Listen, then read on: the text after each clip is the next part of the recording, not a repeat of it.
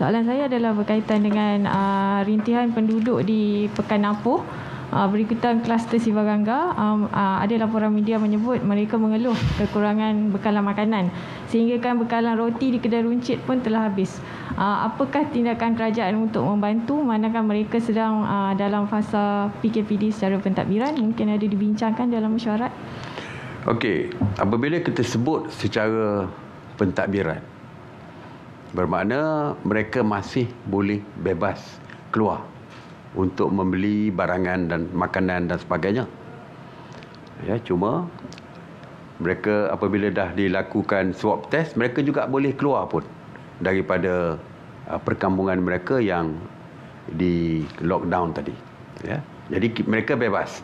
Bukan makna seperti PKP dulu. PKPD biasa mereka langsung tak boleh keluar daripada rumah masing-masing. Sekarang mas, mereka masih boleh keluar. Uh, kedai-kedai yang menjual barangan keperluan asas dibuka seperti biasa. Restoran dibuka seperti biasa. Kedai-kedai runcit dibuka seperti biasa. Cuma saya percaya restoran makanan mungkin tidak dibenarkan makan di premis tersebut tetapi berbungkus.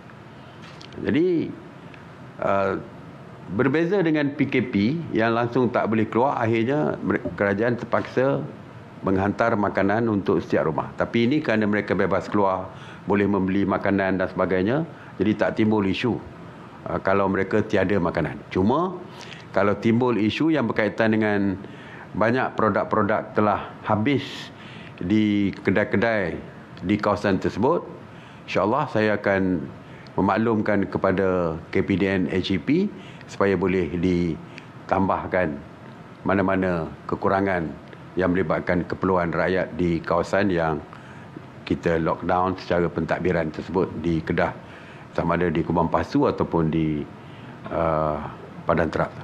InsyaAllah. Okey.